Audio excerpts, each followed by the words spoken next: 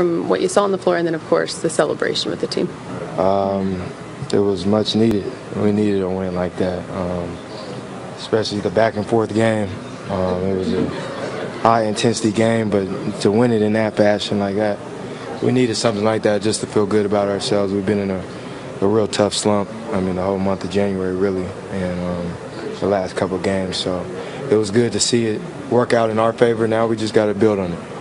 You addressed, of course, the adversity from last night, and then tonight in that third quarter, you addressed it again in a huddle. What did you see different from your guys in that moment? Uh, we just responded. We we in a positive way. We stayed together.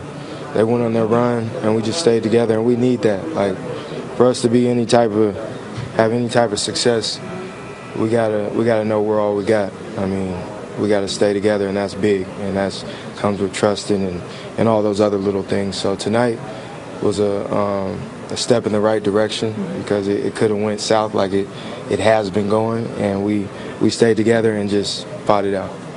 I asked Ty the, the same thing, just given how these games have been going lately, especially against the other good teams.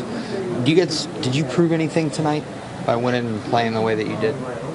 I mean, we. I don't think we proved nothing. We just know we we're a better team than what we showed.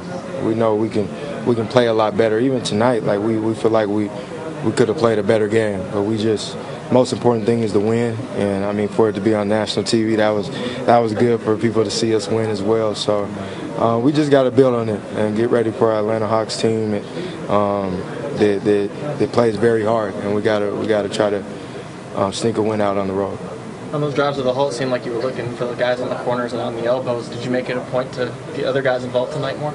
No, I play the same way each and every night, and that's be aggressive and make plays for myself and my teammates. And they collapsed on me, and, and my guys were open, and I had to make the right play. Nancy, how would you describe the energy that a guy like Cedi gives this ball club? I mean, he gives us something we don't have. Um, we don't. We're well, they say the oldest team in the league. We don't play with that much energy, so to have something, somebody like that, that rubs off on everybody. Um, even when the times we do practice, like he's he's the most energized guy, and and he worked so hard, so he deserves it. I'm, I'm glad he got his time today, and he helped us out. And I, I know he can help in the future, so um, we'll see what coach does. I see. I apologize if you've been asked this already, but is this could this game is it too big of a leap to say that this game might be able to jumpstart you guys? I mean, it, it could. It could. I mean, any game like this, especially against a really good team like the Timberwolves, gives us confidence, and we just got to build on it. We gotta we gotta try to try to get on a streak um, and, and, and build some momentum going into All Star.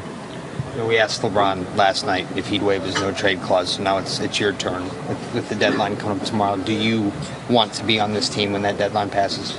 Yeah, I don't. I'm tired of being traded.